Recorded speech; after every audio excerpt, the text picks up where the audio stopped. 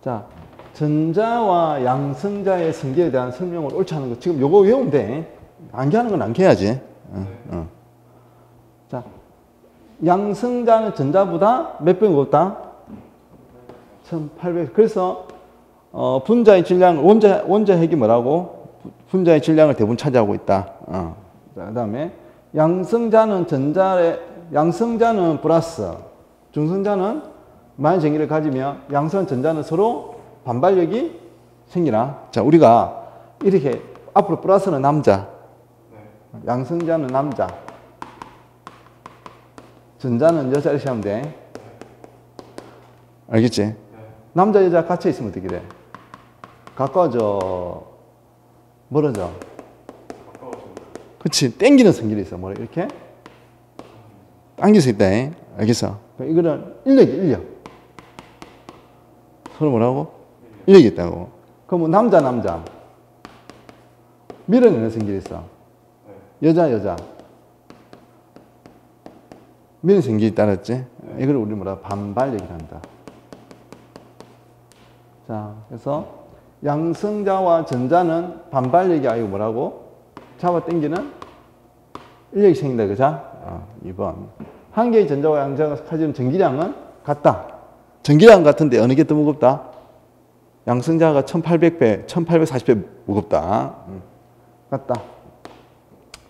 원자에서 양성자의 숫자는 원자 번호와 같다.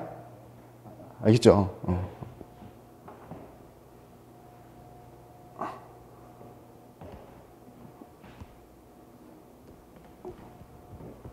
자, 10쿨롱의 전하량을 얻기 위하여 필요한 전자, 전자의 개수를 물어봤네. 필요한 전자의 개수지. 그럼 우리가, 자, 어, 1쿨롱은, 1쿨롱은 몇 개가 필요하다고? 1쿨롱은 6.24 곱하기 얼마? 10에 18승계에 뭐가 필요하다고? 여기 전자가 필요하지. 어, 근데 여기 뭐가, 뭐가 몇 쿨롱이 있대? 10쿨롱이지. 그러면 여기 쿨롱 쿨롱이니까 여기다가 뭐 곱하면 돼? 쿨롱 쿨롱 곱해버리면 1 쿨롱이 요만큼 필요하니까 여기다 10을 곱하면 되겠지, 그지? 어. 이해되지? 어. 그럼 얼마 하겠어? 6.24 곱하기 얼마? 19승계가 되겠지, 그지? 어. 6.24 곱하기 6.24 곱하기 10에 19승이 없지? 어, 그럼 이거 원래는 어떻게 해야 돼? 6.24 곱하기 10에 19승 그지? 그럼 이거랑 찾으면 되는데 19승은 안 보여 그치? 그럼 이게 얼마야 이게? 요거겠지 그거 10을 곱하면 되니까 이런 산수는 되지? 어. 글자가 다 안 보려나?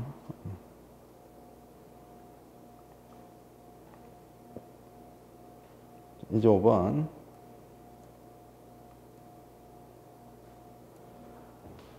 자, 1mA.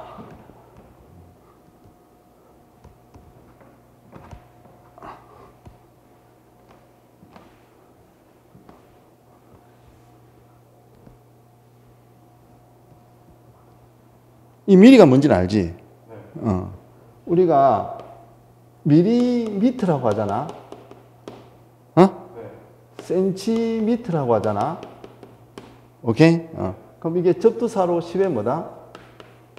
마이너스 삼성 이거는 뭐지? 접두사로 10에 마이너스 있으니까 우리 킬로미터 하지 그지? 그럼 이거는 뭐야? 접두사로 13승이야 어. 그런 건 아, 모르면 지금 알면 돼 어. 모르면 어. 모르면 지금 알면 돼 어. 그러면 자 전류 I가 뭐라고? 전류 I는 1mA 암페어 쓰면 1 곱하기 10에 마이너스지, 그지? 암페어는 뭐다? 1, 쿨, 1초당 뭐가 흐르는 거다? 1쿨롱의 전기량, 전하량이 우리가 뭐라고? 1? 그러니까 이것은 1 미리 암페어는 뭐다? 초당 1쿨롱, 1초당 1쿨롱이 지나가는 거잖아. 여기 1을 안 써도 되지? 그럼 이거를 풀 쓴 게 뭐라고? 지금 전류도 알았지?